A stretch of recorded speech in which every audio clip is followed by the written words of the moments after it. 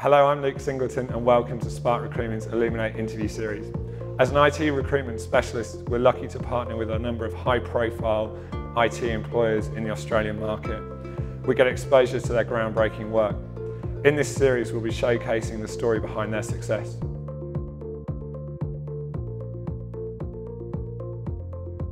We're here today with David Sharp, CEO of SIRCA RoZetta. Welcome, David. Thanks, Luke. Thanks for having us. Um, David, obviously you have two brands to manage in your role as CEO, the SIRCA brand and the RoZetta brand. Could you give us some insights into the functions of the two, please? Yes, yes. So, so it's a bit unique. We have we have two brands.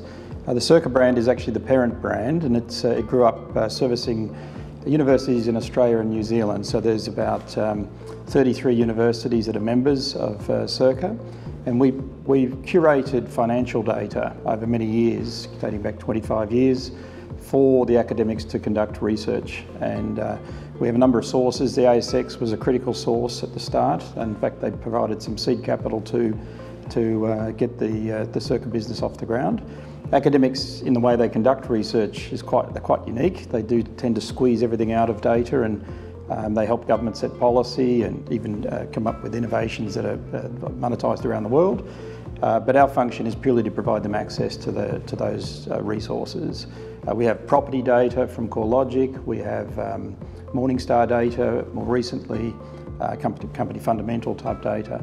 So they're a pretty important uh, base for us, but it is a not-for-profit um, organisation. The RoZetta technology business is actually the commercialisation arm of the SIRCA company. And so that's, that function there is to service external clients. Um, uh, again, in the same area, but it's largely big data technology um, as well as analytics. And we've been doing that since uh, 2005 with the RoZetta Technology brand. Okay, cool. And my understanding is within that RoZetta brand, you're one of the first businesses to actually commercialise a big data solution. Yes. Um, I'd love to know some more about what, what you've done and how you've done it. Okay, so I'd like to say we sort of we're in big data before it became trendy, and uh, it's certainly trendy now, and it's it's prevalent in many industries, but in capital markets in particular. So uh, there's a lot of data captured, and in that industry they call it industrial exhaust. So every buy, sell order that hits an exchange, a stock exchange around the world, is captured.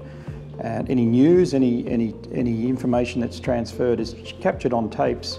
And back in '99, I think it was, Reuters had all those tapes stored on uh, on pellets, stored away.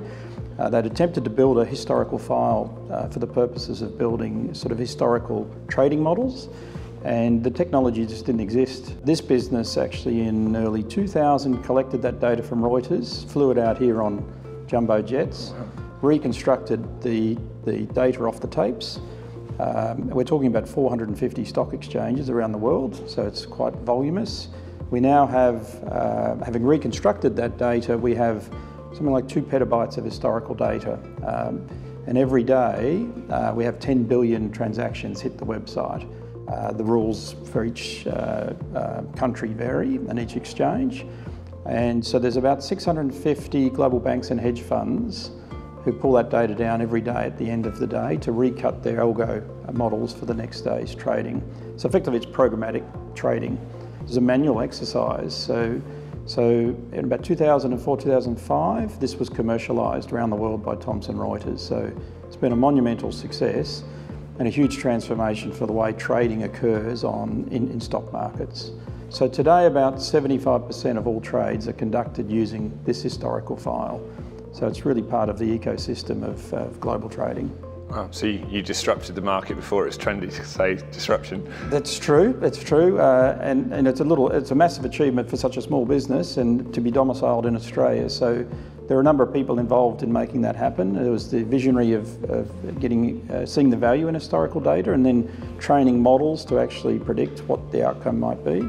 There was the technology to actually understand how we're going to ingest that volume of data. It's it's a massive amount of data every day um, and compress it and then present it back up um, in a very timely manner was uh, an unbelievable achievement in itself. And then the distribution through Reuters originally, now Thomson Reuters, to go out and actually sell that into the major banks and hedge funds. So it was a, it was a phenomenal partnership. Certainly something we're seeing uh, more demand for, both within sort of commercial and, and private and government. Uh, I suppose that makes the um, access to talent quite a challenge. Um, I'd love to get some insights about the culture and, and, you know how you attract and retain high value IT professionals. Yes, yes. Well, that is that's true. It's very difficult, and and uh, to one attract the skills, uh, cultivate them, and develop them because it's not a standing start. Uh, but in here we have quite a there's creativity to start with, and it's looking at business challenges and then uh, understanding whether there's a business model that could actually be improved uh, using uh, big data technologies, analytics in particular. Uh, then there's the innovation. Uh, so some of the things we built with the tick history solution for, for Thomson Reuters didn't exist. So we had to build our own uh, database technologies to cope with that volume. So there's the creativity to find the opportunity, the innovation to actually deliver it, uh, there's, there's, so, so they're a unique style of person. Collaboration's key as well. I mentioned a number of people that played roles in making that such a success, and the sharing of the knowledge uh, was, was quite key. We have quite a strong alumni here too, so there's people that have been very proud of the achievement. And whilst some have left the company now, they've, they've come back quite regularly, partly because of the beautiful surrounds we have, but also just the, the amazing achievement um, and, the, and the ownership that they have of that. So it's quite a unique culture. Uh, and, and the sharing of the knowledge, it really is a team environment. Not everyone knows everything because there's components that people specialise in and uh, people respect, uh, respect the knowledge shared by others. So I've, I've found quite a unique culture and we're building on that. Um, people come here, learn a lot uh, off other quite talented people that have been here for some time.